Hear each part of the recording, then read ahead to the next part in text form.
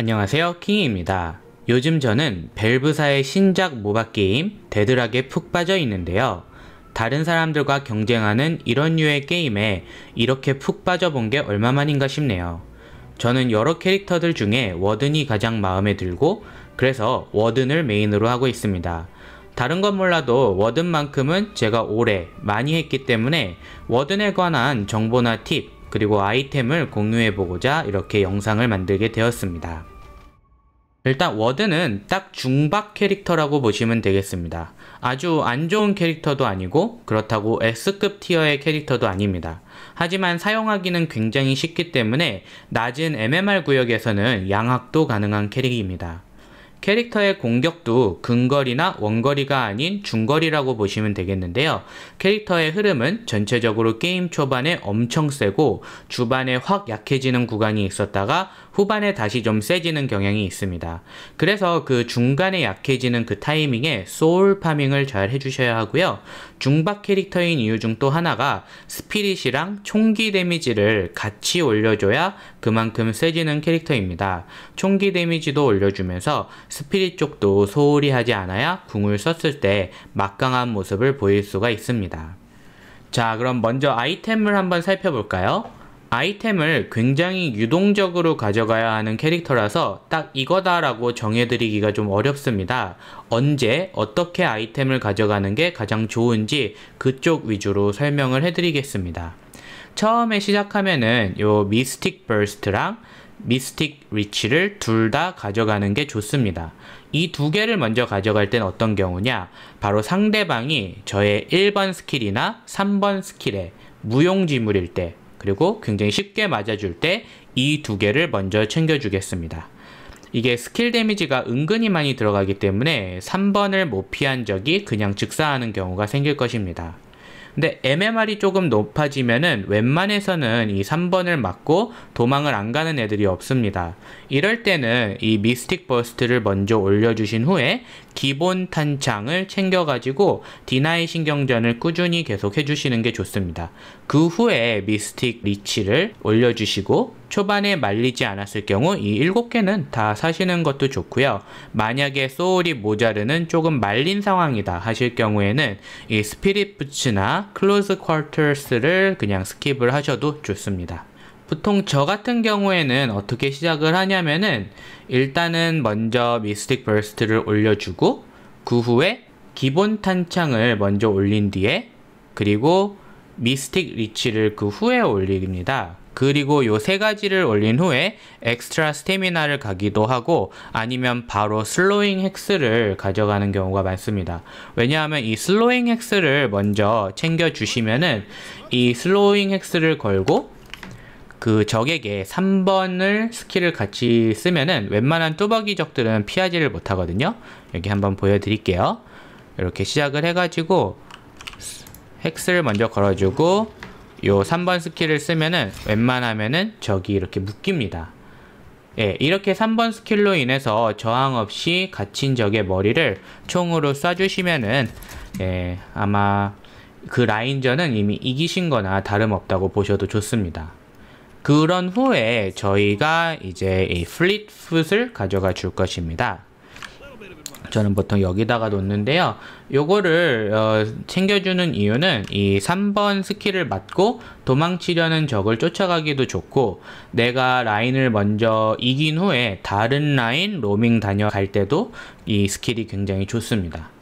어, 여기서 워든의 가장 치명적인 단점은 바로 궁이 channeling이라는 건데요. 궁 channeling을 하다가 역으로 죽는 경우가 너무 많기 때문에 조금 떨어져서 궁을 키고 들어가는 방법을 많이 씁니다. 그러다 보니까 이게 떨어져서 궁을 쓰고 이 Fleetfoot을 쓰면서 빠르게 진입을 하는 그런 방법을 쓰기 때문에 이 갭을 메꾸는 데는 필수 스킬이라고 보겠습니다. 이후 다음 스킬을 가기 전에 이 Slowing Bullet을 가는 것도 좋고 여기 총탄 체력 흡수 정도 이렇게 챙겨주시는 게 가장 좋은 좋은 모습이라고 볼 수 있겠습니다. 이렇게 가시는 경우가 보통은 좋고요. 그 후에 다른 것들 챙겨주시면 좋겠습니다. 자 이제 여기에서 만약에 내가 이 flex 칸이 여유가 있다 하시면은 요 Quicksilver 재장전을 사주시고요. 요 Quicksilver 재장전은 플래스크 1번 스킬에다가 연결을 해주시는 게 좋습니다. 이렇게 되면은 이제 총알을 다 쓰시고 재장전을 하기 전에 1번 스킬을 던짐으로써 바로 재장전이 되는 모습을 볼 수가 있고요. 이렇게 재장전을 부담을 줄여줌으로써 DPS도 확 올라가고 라인 clear 하기나 farming을 하기에 굉장히 도움이 될 것입니다. 이제 나머지는 상황에 따라서 유동적으로 골라주시는 걸 추천을 해드리는데요. 여기까지 끝났으면은 일반적으로 굉장히 세신 상황이거든요. 이만큼을 샀다는 거는 그만큼 소울도 많이 축적을 해놓았고 라인전도 웬만해선 이긴 상황이시기 때문에 여기서는 이제 조금 약해지기 시작하는 구간입니다. 먼저 이 궁쿨이 굉장히 길거든요. 어, 그렇기 때문에 가장 먼저 쿨다운을 사주셔가지고 궁쿨을 줄여주시고 그 다음에 저는 개인적으로 이 Superior Cooldown도 궁에다가 넣어가지고 궁쿨을 88초까지 에, 1렙일 때 88초까지 에, 줄이는 그런 방법을 쓰고 있습니다. 일단 궁이 channeling이라는 단점을 빼고는 워든의 밥줄이나 마찬가지인 스킬이기 때문에 이후에는 Duration Extender 어, 요거나 일단은 요 보이스트 버스를 뺄게요. 그리고 개선된 범위 요거를 4번 궁이랑 연결을 시켜주겠습니다. 이렇게 하면은 궁이 쿨도 적어지고 범위도 넓어지고 또 요 superior duration까지 사용을 하시면은 그만큼 궁이 오래 지속이 되기 때문에 워든이 궁만 킬 수 있는 상황이 나오면은 아마 쉽게 죽지 않으실 겁니다. 만약에 팀이 말려가지고 요 flex 칸이 하나도 없다. 이렇게 된 상황이실 경우에는 제가 아까 한 것처럼 Mystic Burst를 제일 먼저 팔아주세요. 왜냐면 초반 라인 전용 아이템이지 이거 후반에는 진짜 아무 쓸모없는 그런 스킬입니다. 어느 정도 궁이 이제 쓸만해졌다 하시면은 이제 무기 데미지를 차츰차츰 올려야겠죠? 여기서 좀 더 soul farming이 필요하시기 때문에 좀 더 약해지는 구간이라고 볼 수 있겠고요. 여기서 Point Blank를 가져가시는 것도 좋고 어, soul을 충분히 모아서 Crippling Headshot을 먼저 가주시면 굉장히 좋습니다. 만약에 내가 10 kill 0 death 막 이런 식으로 엄청나게 잘 큰 경우에는 이 유리 cannon, 유리 대포를 과감하게 선택하시는 것도 방법일 수 있겠습니다. 이게 뭐 아니면 도인 캐릭터라 가지고 스킬이라 가지고 요거를 먼저 가주셔도 상관은 없어요. 근데 내가 이제 잘 못 컸다. 그리고 너무 어렵다, 지금 상황이. 이럴 때는 조금 더 유동적으로 가주시는 게 좋고요. 예를 들어, soul이 진짜 너무 안 모인다. 이 정도로 말렸다. 할 때는 뭐 Healbane 같은 것도 가져가셔가지고 좀 더 생존력을 올려주시는 것도 좋고, 만약에 나는 잘 컸는데, 이제 헤이즈가 잘 큰, 나만 잘 커가지고, 나만 이제 노리고 계속 뒤에서 어, 재우고 막 괴롭힌다. 이럴 때는 이제 Metal Skin 가주셔서 요거 헤이즈가 궁 쓸 것 같은 타이밍에 요거 한번 눌러주시면은 헤이즈가 아마 좋아서 죽으려고 할 것입니다. 만약 내가 앞전에서 궁을 키고 진입을 해야 되는 그런 tanking 역할이 필요한데 어, 레이스가 이제 stun 같은 거 걸어가지고 내가 궁이 계속 cancel이 나고 있다 이럴 때에는 과감하게 Unstoppable을 가셔도 좋고 아니면 Shadow Weave 같은 거를 투자를 하시는 것도 방법이 되겠습니다.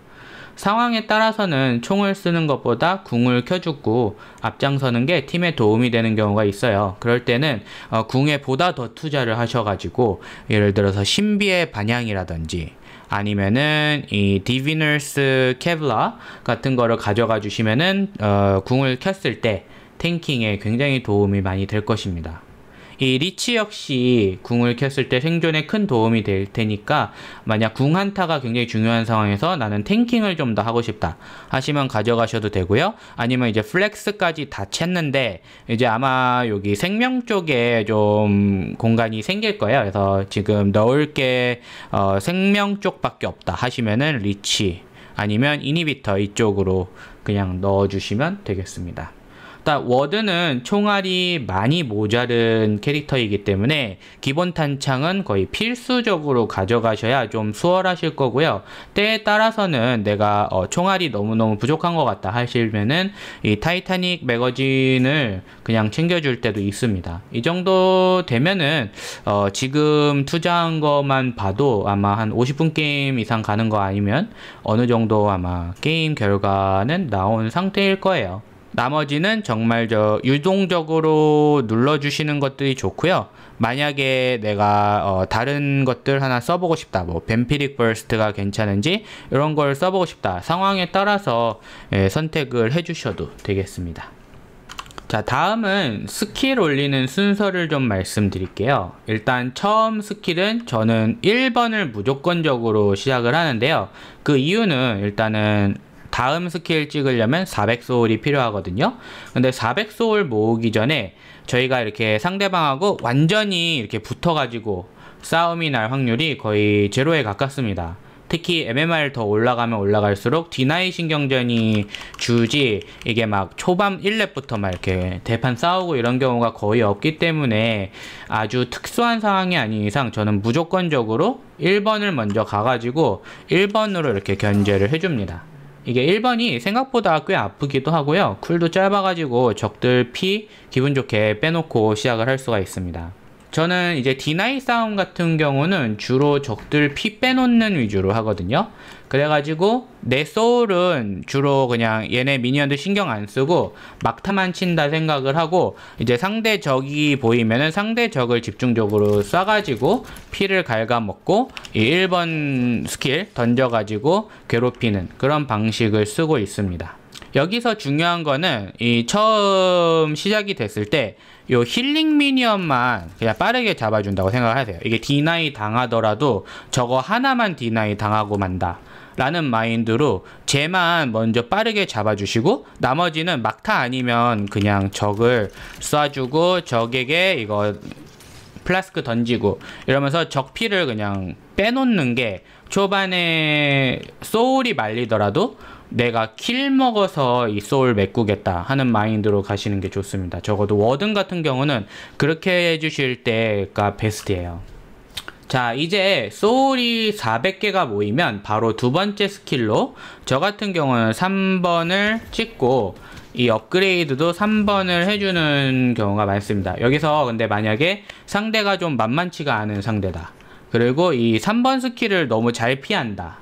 이런 캐릭터라면은 그냥 1번을 먼저 업그레이드를 해주셔가지고 이 라인 견제를 계속 해주시는 것도 괜찮습니다.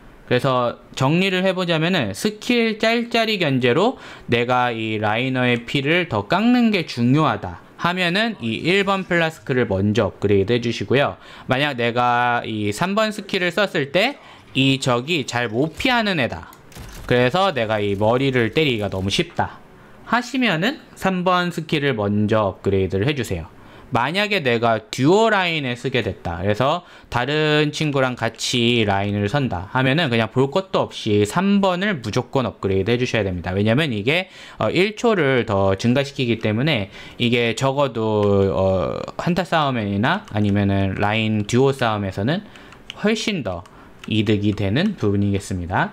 그 다음에 이제 두 개를 업그레이드 하셨으면 그 다음에 저는 이 3번을 한 번 더 업그레이드를 먼저 해주는 편이에요. 왜냐면은 이게 cooldown을 많이 줄여주기 때문에 이거 3번 스킬을 12초 간격으로 훨씬 더 자주자주 써주실 수가 있습니다. 여기서 이제 3000soul이 다 모이시면은 궁을 먼저 찍어 주시고 이제 hex 먼저 걸은 다음에 궁 이거 3번 쓰시고 바로 궁을 열어주시면 이렇게 묶여있는 애한테 다가가기가 굉장히 쉬워져요. 그래서 적이 묶인 채로 금방 마무리가 될 수 있을 겁니다. 이렇게 하면은 솔직히 라인전은 진짜 엄청 잘하는 빈딕타 만나서 게임 터지거나 아니면 뭐 스킬 다 맞추는 패러독스 같은 애들 laner로 만나는 거 아닌 이상은 그냥 거의 다 이긴다고 보시면 되겠습니다. 이후에 적당히 스킬들 1렙 스킬 이거 2번 1렙 찍어주시고요. 그 다음에 저는 1번을 한 번 더 찍어주셔서 요 1번하고 3번이 2렙으로 되게끔 하고요.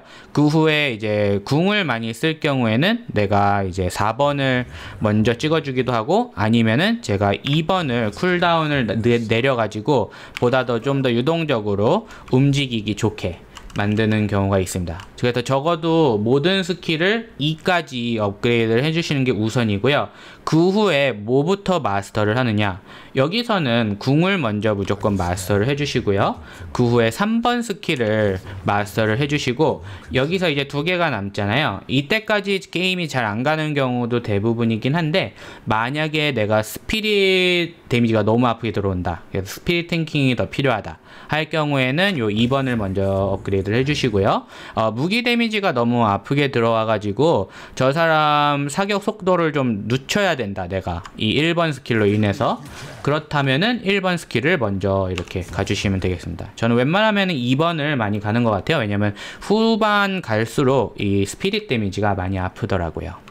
자 이렇게 해서 워든에 대한 기초를 알아봤는데요 어, 저 같은 경우는 이 캐릭터가 정말 마음에 들고 지금 보시면 제가 안타깝게도 최근에 3연패를 하기는 했는데 워든 그래도 50% 이상은 어, 승률이 나오기는 하거든요. 이게 근데 팀이 아무래도 좀 많이 힘들 때는 어쩔 수 없이 예, 이기기 힘든 경우가 많이 나오기는 합니다. 여기서 보시면 뭐 2kill 11death 이런 패러독스나 아니면 여기서 진짜 문제는 여기 목표 피해 보시면 91밖에 안 넣었죠.